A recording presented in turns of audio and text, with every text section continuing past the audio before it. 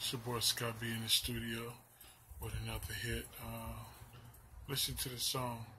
Tell me what you think about it. It's not too late to say, I'm sorry.